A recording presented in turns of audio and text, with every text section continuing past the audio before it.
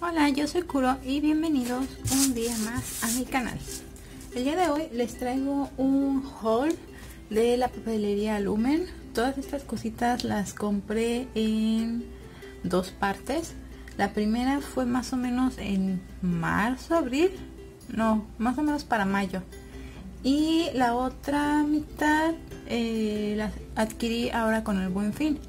Eh, no me están patrocinando este video, ya quisiera yo, pero no. Eh, todos estos materiales de arte los conseguí en precios rebajados de un 25 a un 30% más o menos.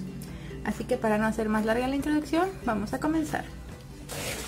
Lo primero que les voy a mostrar son unos estilógrafos de la marca Faber-Castell. Estos los adquirí en el mes de mayo.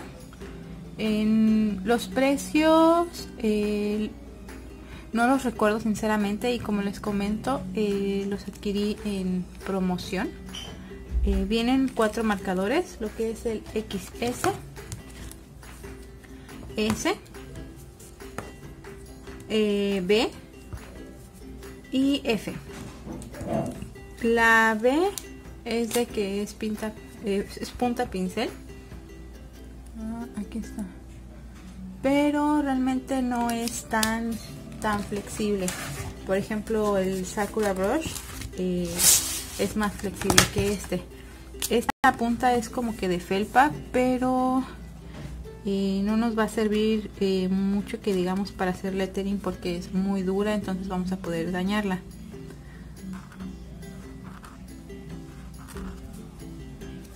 tienes que hacer más pausado el, el, trazo entonces en lo personal no, no le daría ese uso de lettering. Eh, el XS es este. S que es considerablemente pues más o menos como el doble del XS y finalmente este que es el F en el empaque decía que son resistentes al, agua, que son ideales para dibujar manga. Eh, todavía no he probado esta, pues, eh, esta especificación, pero más adelante en un video próximo espero poderles traer un video al respecto, más al fondo de estos estilógrafos. Lo siguiente que adquirí fue un borrador moldeable de la marca Stadler. Eh, ya tenía un borrador moldeable anteriormente, solo que lo compré en AliExpress y sinceramente este es de muchísima mejor calidad. Es más suave y a pesar de que, por ejemplo, dividí esta parte porque pues es la que no he estado usando, eh, no se ha puesto dura ni mucho menos, de hecho todavía está bastante, bastante blandita, como pueden ver y pues la verdad no lo he usado, o sea, esta parte no lo he usado desde mayo que lo compré. Entonces son de muy buena calidad. Lo siguiente fue este blender. Eh, como podrán haber notado en el canal, eh, yo utilizo mucho los lápices de colores. Y quise probar usar un blender. Este es eh, de la marca Coinor y pues sí es eso, un blender, un lápiz con una mina eh, incolora. Va bien, yo digo que es una buena opción. Eh, pero pues no he probado más, más que solo este. Y de ese mismo pedido de mayo adquirí estos Faber-Castell. Son lápices de madera pero son acuarelables. Es un paquete de 24 piezas, no incluye pincel, solo incluye los 24 colores y se ven de esta forma. Como pueden ver, eh, trae un librito. Eh, dice Faber-Castell Art Grip Aquarel. Eh, Art Grip es una línea anterior al profesional eh, sus eh, colores de esa línea tienen como características que tienen como unas gomitas a lo largo del lápiz que te permite eh, tener mayor fijación al, al, lápiz cuando, cuando lo estés tomando. En este librito vienen diferentes consejos sobre cómo utilizarlos y nos viene pues igual aquí algunos otros productos de la misma línea Art Grip eh, como pasteles, los pastel, tizas y estos mismos colores. En la caja vienen eh, un blanco, un negro, dos amarillos, cinco verdes, tres azules, dos violetas, dos magentas, tres rojos, dos naranjas, dos cafés y un tono, eh, creo que se llama naranja palo, palo naranja, un color durazno. Eh, vienen en caja de, lata, por lo que pues se mantienen muy bien cuidados. Y igual eh, más adelante de todos estos productos voy a intentar subir un video ya probando más a fondo los, los materiales. Estos los he usado creo que aproximadamente unas dos veces, pero no, no meramente como, como lápices acuarelables, sino como colores normales. Eh, lo último de ese pedido de mayo fue el sketchbook que he estado utilizando últimamente. Eh, es un Canson de hecho aquí guardo la etiquetita. Un Canson Artbook One eh, es de 100 gramos y es de 14 por 21.6 centímetros. Eh, dice que es para eh, bocetos. Yo lo he utilizado tanto para colores como para un poco de tinta Incluso he usado marcadores en él. Igual este fue con marcador. Eh, con los marcadores sí hay que tener un poquito de cuidado porque hay que poner una hojita abajo los marcadores de, alcohol principalmente. Fuera de eso no, genera ningún problema. Intenté de igual forma eh, utilizar acuarela. Eh, sí me resistió la acuarela, pero no muy, muy cargada. Eh, no, no se traspasó tanto como podemos ver, pero evidentemente no es un sketchbook para, para hacer una ilustración en acuarela eh, mm, tan elaborada. Este igual lo hice con, marcador y con lápiz. Eh, y pues me gusta mucho la textura que, que da. Aquí lo podemos apreciar. Entonces sí he manejado varias técnicas en, este sketchbook. Todavía me quedan algunas hojas y es el que voy a seguir utilizando. Del pedido de este buen fin adquirí un par de cositas una, dos, tres, cuatro cositas. El primero fue ay no se alcanza, no cabe este sketchbook de Canson XL Watercolor. Eh, ya muchos lo han de conocer. Es el típico para acuarela. Tiene 30 hojas. Es de 22.9 por 30.5 de 300 gramos. Eh, yo no utilizo la hoja completa para dibujar. Eh, utilizo lo que es la mitad.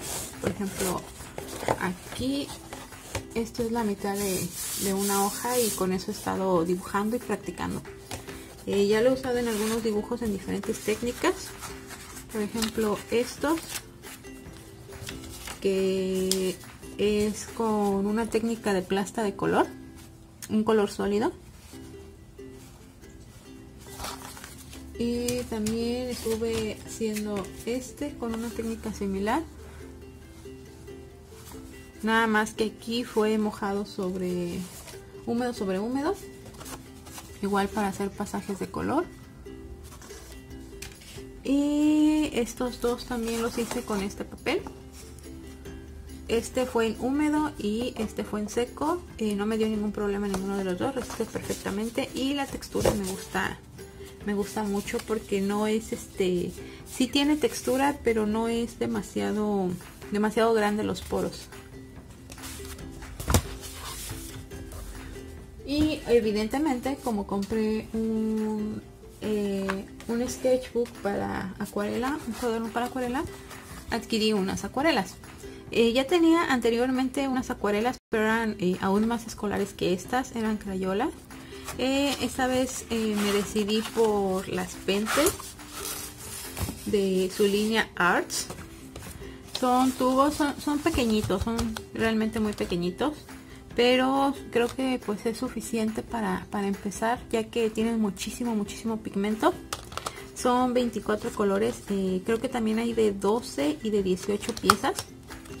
Eh, pues como les comento que tomé todo en, promoción creo que este paquete me salió 100 pesos más, más barato lo que vienen siendo unos 5 dólares más barato de lo que normalmente cuestan eh, lo que yo hice fue pasar eh, una porción más o menos que será como la mitad del botecito a un pastillero como este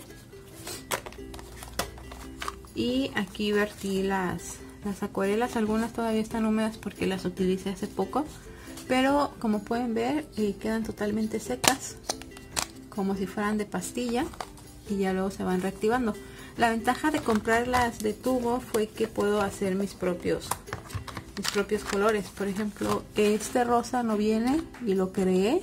Y este color lila tampoco viene y también lo, lo mezclé yo misma.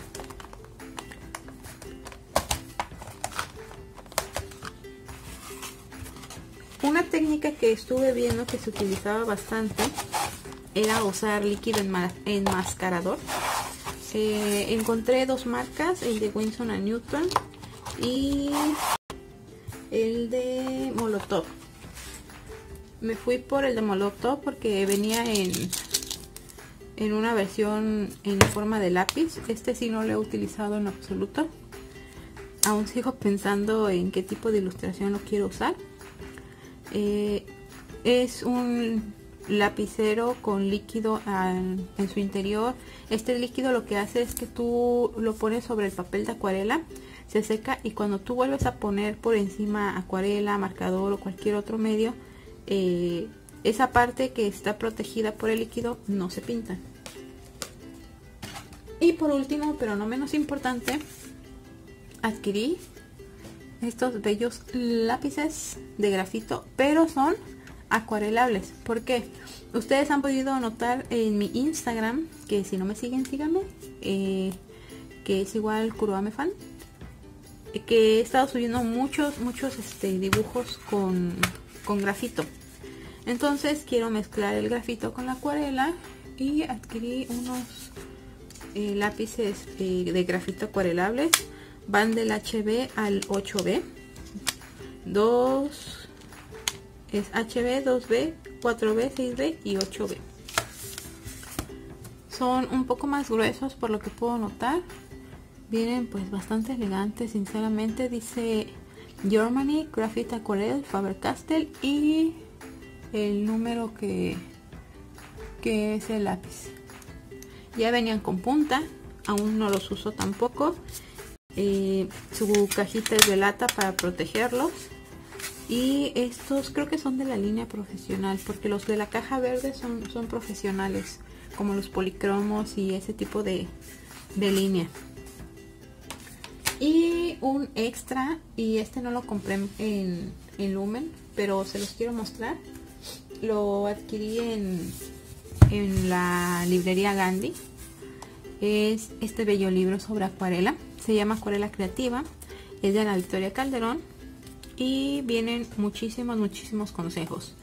Eh, si quieren un, un, videíto, eh, un video más adelante sobre este libro y algunas cositas que vienen dentro de él y por qué conviene tanto comprarlo, eh, me lo dejan en la cajita de, de información. De hecho, de este libro es de donde he hecho un par de ejercicios que les mostré hace un momento que es este y este. Este fue para mm, ir controlando y, y aprendiendo lo que son las transparencias. Si se fijan están encimados los triángulos. Y este que fue un poco menos exitoso que el anterior para controlar el pincel y no, no pintar arriba de, de los otros colores. En algunos eh, tuve mayor éxito que en otros pero están súper bien. Por mi parte sería todo son todos los materiales que he adquirido en Lumen espero les haya gustado el video no se les haya sido hecho cansado.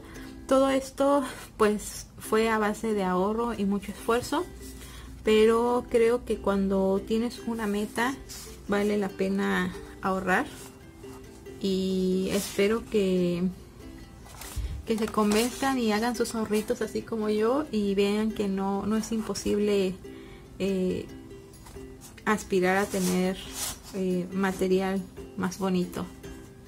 Por mi parte sería todo eh, no olviden suscribirse visitar alguno de otros mis videos y nos vemos hasta la próxima. Bye